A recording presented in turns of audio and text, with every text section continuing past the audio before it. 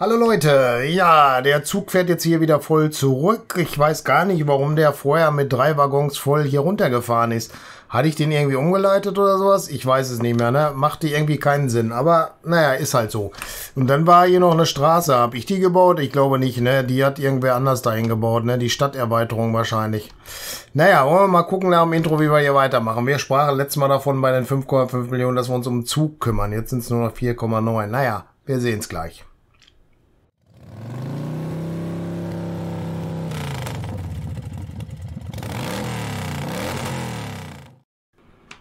Ja, der zweite Zug kommt jetzt hier rein, haben wir also auch nicht gesehen, wie sich das geändert hat. Aber ist jetzt auch nicht so wild. Hier sind jetzt 27 Passagiere. Wie sieht's mit Ware aus? 116.000, er fährt voll hoch.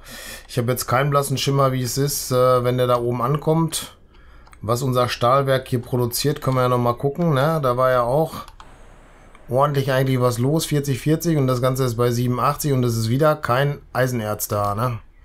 Also rein theoretisch würde das bedeuten, wir müssen hier wieder gucken, dass wir definitiv noch Eisenerz hierher kriegen. Also die PKWs bzw. die LKWs hier, die schaffen es äh, genug hier ranzuschaffen, aber leider schaffen unsere Züge das nicht. Wir hatten irgendwo noch so eine Geschichte, wo ein Zug hier gewendet ist, der da fast reingeknallt ist. Weiß ich gar nicht mehr, wo das war. Ne, hier war das auch nicht. Warum fährt der rote Pfeil nicht? Also der entlädt gerade oder lädt gerade. Okay, alles klar, jetzt fährt er auch wieder. naja, das ist jetzt auch nicht so wild. Äh, ja, wie sieht's mit Passagieren hier aus? Ja, da stehen 116, ne? Wie wir stehen hier hinten? Das ist die Frage dann. Da fährt er ja auch hin.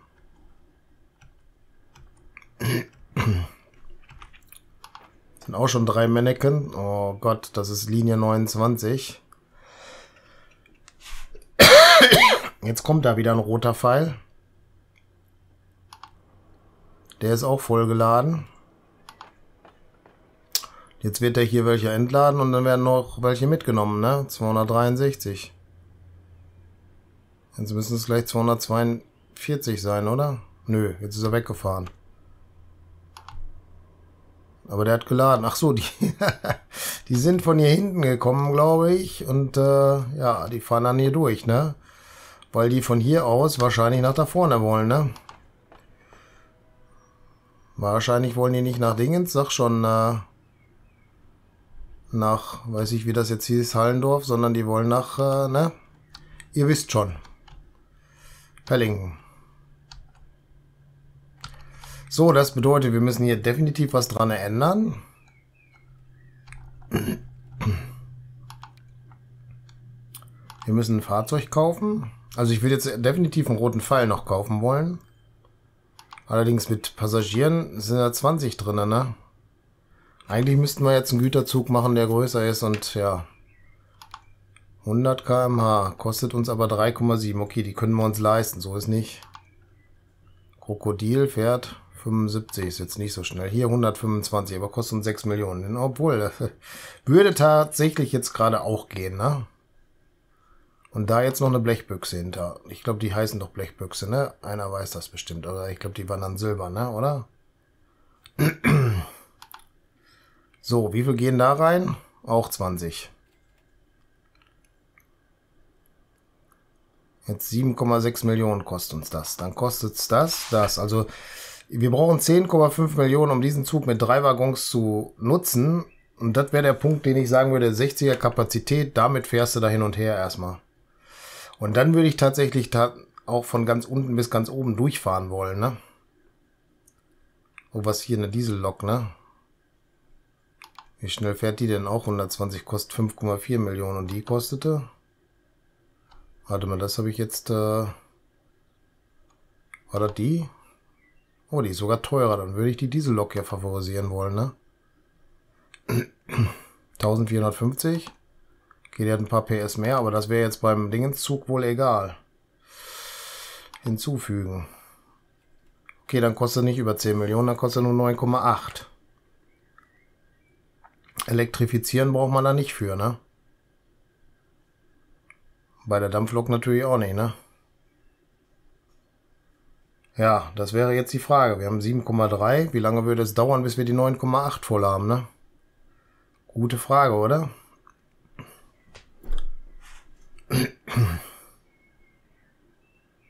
Okay, das wäre Fahrzeug nach rechts verschieben und so, aber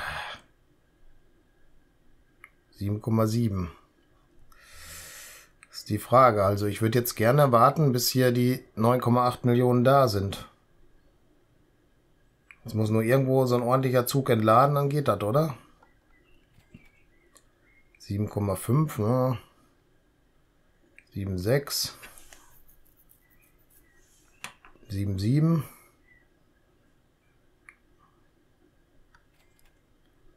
Tja. Jetzt sind es noch 2 Millionen, dann würde das klappen, ne? Aber so lange wollen wir ja gar nicht warten, oder? Jetzt ist auch wieder abgefallen. Ich glaube, das verschieben wir noch mal ein bisschen. Ja, was können wir optimieren? Das ist die Frage, ne? Ist das schon ein neuer Wagen, oder? Ja, der sieht schon relativ flott aus, ne?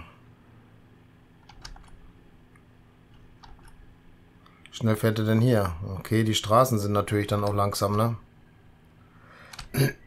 Den müsste man dann auch noch ausbauen, damit es schneller geht. Wie schnell kann er? Wo ist denn die Geschwindigkeit? Da war sie. 50 km Höchstgeschwindigkeit, okay. Dann müsstest du hier die Straße noch ausbauen dann. Ne, das war falsch. Hier wollten wir hin. Das sind Landstraßen. 60 km, 80 km. Ich würde ja dann die 80 km Straße bauen wollen, ne? Und die würden ja dann auf Upgrade laufen, ne? Ich weiß nicht, wie schnell das erste Stück ist, aber das würde ich jetzt nicht upgraden wollen. Einfach aus dem Grund, weil es ja... Ja. Kostet uns auch alles ein bisschen, ne?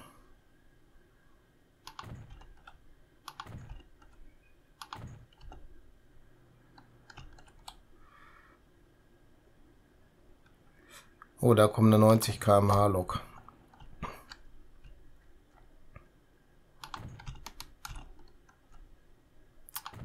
Ja, aber wir müssen es so oder so irgendwann machen, ne? Bau nicht möglich, okay. Und das hier ist schon. Gut, dann fahren sie da schon 80 km/h. Wir haben jetzt 8,6 Millionen, obwohl wir die Straßen ausgebaut haben. Sehr gut. Das ist aber nicht einer von uns, ne? Nee. So, der 50er Bus fährt jetzt hier, ne? In der Kurve hat er natürlich jetzt... Ja, jetzt hat er wieder 50, weil er gerade bergab geht. Aber es funktioniert erstmal, das ist das Wichtigste. Und hier ist ein LKW und der fährt nur 30 km/h. Weil das jetzt hier eine Stadtstraße ist oder fährt er wirklich nur 30 km/h? Hm. Also natürlich jetzt auch nicht, ne? Boah, da warten 63 Passagiere. Das ist schlecht. Da warten 74 Passagiere. Das ist schlecht. Wo ist der Bus? Muss den Bus klonen.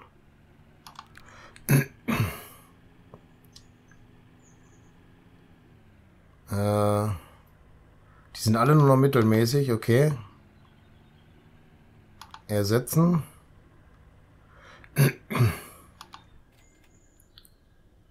Für 752 ersetzen. Die fahren dann 70, der fährt nur 50. Der ist also eine ganze Ecke schneller. Hier sind 10, da sind 14, macht's, ne? Auf jeden Fall ersetzen. Zack. Dann fahren da auch mehr. Tendenziell neige ich sogar dazu, noch einen dazu zu kaufen. Hier ist jetzt noch so ein LKW, der alles aufhalten wird. Fährt er wirklich nur 30 km Hier auch oder ist es die Straße in der Ort? Da ist die Straße innerorts, außerorts fährt er 40. Der transportiert Brot wohl. Ist auch sehr schlecht. Könnten wir auch austauschen. Der macht alle Güter bei 60 km/h. Gibt es auch 70? Ne, ne? Wahrscheinlich 60 km/h so oder so. Sabbat, ne?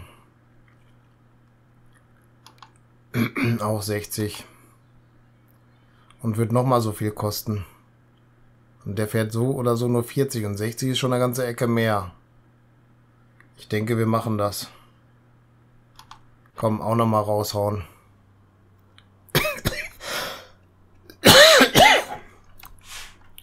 Jetzt fährt er nur 33, keine Ahnung warum. Ich habe jetzt aber nicht den falschen erwischt, ne, oder? Jetzt fährt er schneller. Aber Berg hoch kann er wohl nicht schneller. Ja, sieht so aus, als ob er hier ganz flott unterwegs ist. Die 60 schafft er jetzt hier Berg runter. Einmal auch nur kurz. In der Kurve ist er noch ein bisschen langsamer. Jetzt wieder. Okay, dann sind wir da auf der Strecke auf jeden Fall auch safe. Und wir haben 8,6 Millionen. Wir haben hier ziemlich viel Eisen liegen. 43 für Linie 6. Wer ist Linie 6? Das ist ein Zug, okay. Wie sieht es denn hier jetzt aus mit produktionsmäßig? Jetzt ist wieder 30 angekommen, also da fehlt es definitiv auch noch dran, ne? Und die roten Pfeile sind jetzt auch langsam outdated, oder wie sehe ich das? Ja, da war jetzt noch, noch ein Zug mehr gekommen und das war der, der fuhr aber nur 90, ne? Und der fährt 120. Dieser hier fährt 100. Ah, der ist aber günstiger. Finanziell 100. Ja, finanziell brauchen wir nicht reden, ne? Da ist definitiv die Diesellok hier das Bessere. Und dann die Donnerbüchse, wenn sie so heißt. 117, ja. Brauchen wir nicht drüber reden. Kostet uns 9,8 Millionen. Wir sind gleich dran. Und wir hatten eben schon andere Sachen ausgegeben. Also es läuft insgesamt wohl rund, ne? So, da ist die Kohle und wir starten das sofort durch, damit das klappt. Und der kommt auf Linie 29 dann. Und dann wollen wir hoffen, dass er der auch schön alle fährt. So, 60 Passagiere. Der ersetzt jetzt dann drei Dingens. Ich glaube ja, ne? Der ersetzt drei äh, Silber, nicht Silberpfeile, rote Pfeile. 20 bei 120. Ja, so ist es. Ist dann zu überlegen, wie viel das bringt. So, fahren wir mit. Aha, der Lok sieht so ein bisschen amerikanisch aus.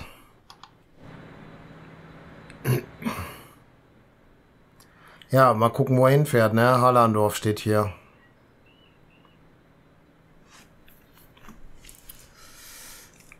Und der wird voll sein, gehe ich von aus, oder?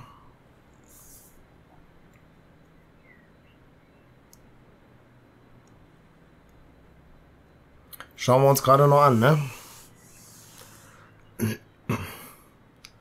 Da fährt er jetzt langsamer, weil Einspur? Ne, weil er wahrscheinlich schon in den Bahnhof reinfährt, ne? So, jetzt zwei Passagiere, weil er jetzt nach Nimek fährt oder wie der Ort auch immer heißt, ne?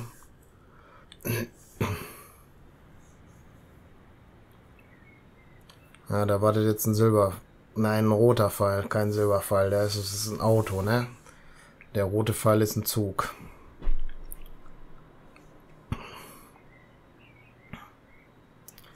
Ja, gut. Machen wir mal gerade schneller noch, oder? Ich weiß jetzt gar nicht, wie er aus äh, Neuendorf bei Nemjek da weiterkommt. Neuendorf heißt der Ort.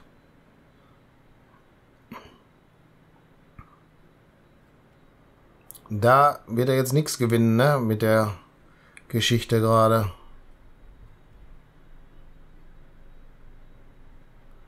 So, da ist er. Und kommt jetzt an.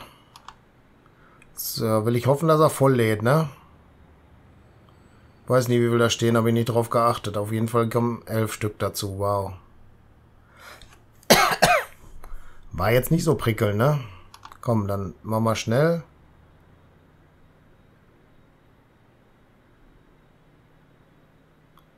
160, äh, 160, 60, jetzt 70. Hier am Berg wird er langsamer. Kommt jetzt auch gerade ein Silberpfeil. Fährt jetzt fast eine Million gleich miese ein. Nicht so ganz so dolle, ne? Jetzt müssen wir wahrscheinlich einen von den Silberpfeilen auf jeden Fall schon runternehmen, meines Erachtens, weil es das nicht mehr bringt, oder?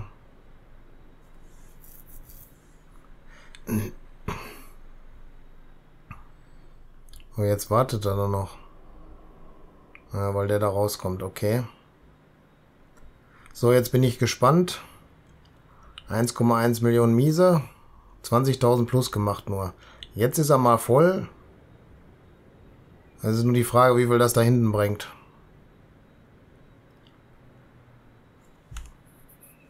Das müsste mal 6 rechnen, ne? Das ist jetzt 120.000 dann. Was das alle so bringt, weiß ich nicht.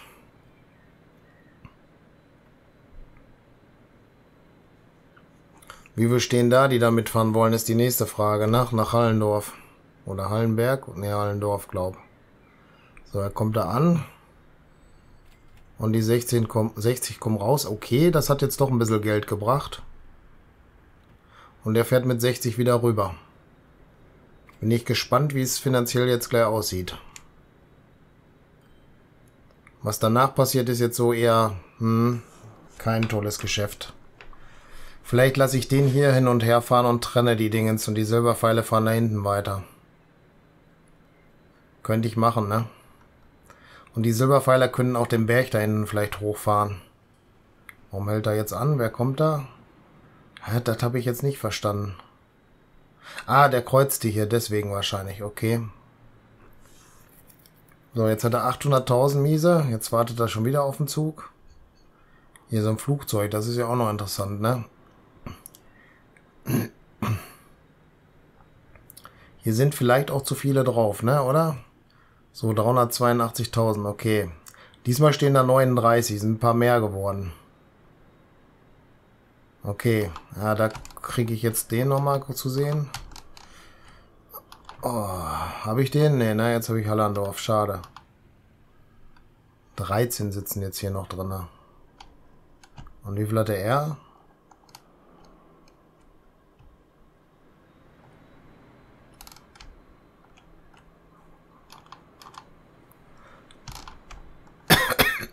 Kriege ich den nicht angeklickt. 39 waren das, okay. Geht eigentlich noch. Hier stehen jetzt 23. Okay, das sind nicht ganz so viele. Aber hier steht jetzt eine blaue Zahl und keine rote. Das ist ja schon mal was, oder? Und 23 sind zugestiegen. Auch nicht schlecht. Das ist natürlich, dass hier keiner steht, ne? So, jetzt müssen wir diesen Zug entladen lassen und wenn er dann leer ist, was gerade tatsächlich so ist, fährt er mal ins Depot. Äh, das Fahrzeug ins Depot schicken. Passt. Oder wir könnten den ja auch gleich schon in einer, auf einer anderen Linie stecken, wenn ich wüsste, welches ist, ne? Also er fährt jetzt erstmal ins Depot. Gut, da kommen wir erstmal nicht weiter. Jetzt muss ich den Zug finden, der hier hinten hoch und runter fährt. Der ist es nicht. Der ist es auch nicht. Der da hinten ist es. Ne, der ist es nicht. Da ist er. Der hat 32. Naja. Wir stehen jetzt hier. Vierer. Und das ist Linie 4. War er jetzt hier auf Linie 4? Weiß ich nicht. Oh, jetzt ja, er ist Linie 4. Ist die Frage, wie viel da oben noch stehen.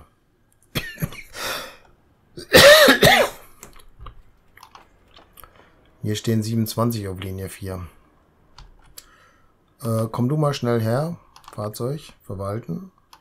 Fahrzeug auf Linie 4. Gucken wir mal, was der daraus zaubert, oder? Okay, Lädt er da auch ein? Ja, lädt er auch ein. Das ist sehr gut. Dann sind beide Bahnsteige benutzt worden, oder? So, der hat 20. Wir stehen jetzt noch hier 7. Das ist für den anderen... Ah, hat gut geklappt, oder? So ein Shit aber auch. Warum fährt er da jetzt nicht einfach vorbei? Aber er fährt nicht vorbei, ne? Äh...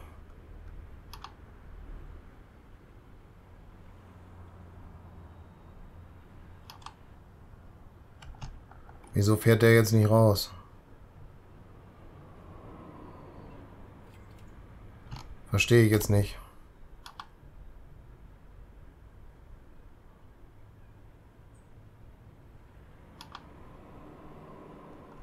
Das ist jetzt doof. Dann muss der jetzt doch wegfahren.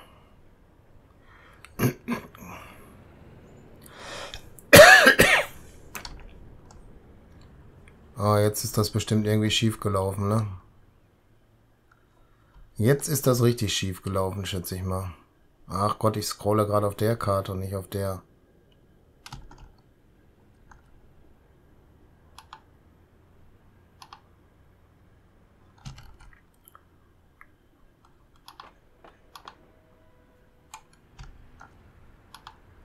Tja, dann bleibt mir nichts anderes übrig, als dem jetzt gerade erstmal zu sagen, fahr ins Depot.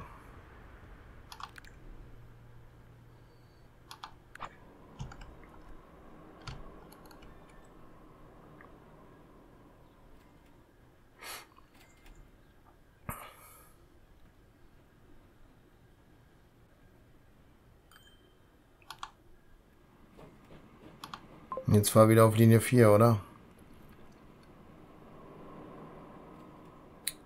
Jetzt kommt da noch ein Silberpfeil. Äh, müsste den hier haben, ne? Ich hoffe, jetzt klappt's.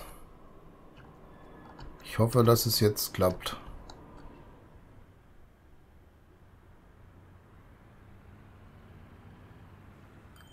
Warum fährt er jetzt nicht weiter?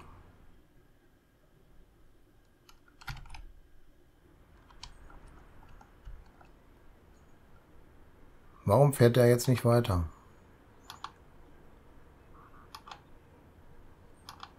Was ist hier das Problem? Da ist jetzt schon wieder der angekommen. Läuft, oder?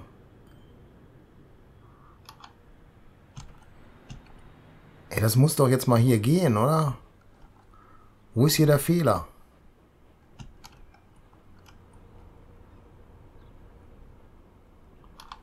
Okay, ich glaube, wir haben hier ein größeres Problem und werden jetzt sehen, dass wir das dann in der nächsten Folge managen, ne? Ich habe keinen blassen Schimmer, warum er jetzt hier so rumzickt. Ich weiß es noch nicht. Das ist hier eine Kreuzweiche, ne, oder? Ja, ist es. Der kann also darüber fahren. Ich weiß aber nicht, warum er es nicht tut. Naja, werden wir in der nächsten Folge machen. Ich sage mal recht herzlichen Dank fürs Zuschauen. Würde mich freuen, wenn ihr das nächste Mal auch wieder mit dabei seid. Falls ihr noch kein Abo habt, macht eins. Falls euch die Folge gefallen hat, gebt einen Daumen hoch. Macht euch die Glocke an, kriegt damit, wenn ich das nächste Video hochlade. Gerne Kommentare schreiben und auch gerne das Video auf anderen Kanälen teilen. Wir sehen uns in der nächsten Folge. Bis dann. Ciao.